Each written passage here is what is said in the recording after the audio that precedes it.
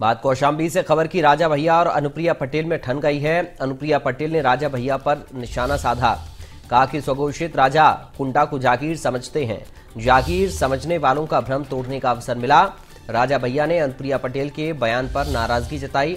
कौशाम्बी में अनुप्रिया पटेल के बयान से राजा समर्थक नाराज़ हुए। तो कौशाम्बी से खबर आपको बता रहे हैं राजा भैया और अनुप्रिया पटेल पे ठनी है। अनुप्रिया पटेल ने राजा भैया पर निशाना साधा।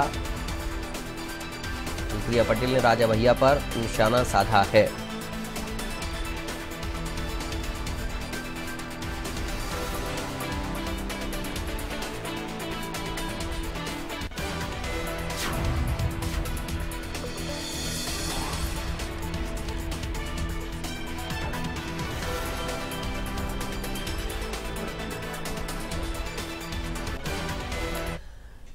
सुनिए, कल कौशाम्बी में जनसभा के दौरान अपना दलैज की राष्ट्रीय अध्यक्ष अनुप्रिया पटेल ने क्या कुछ कहा था?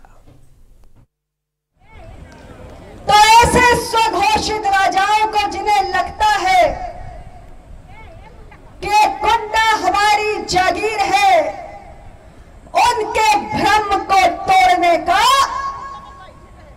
अभाव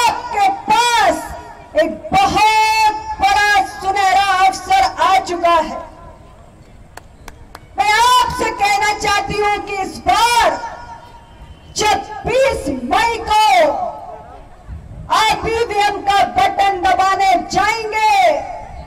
तो याद रखिएगा कि इस देश के अंदर अब केवल मतदान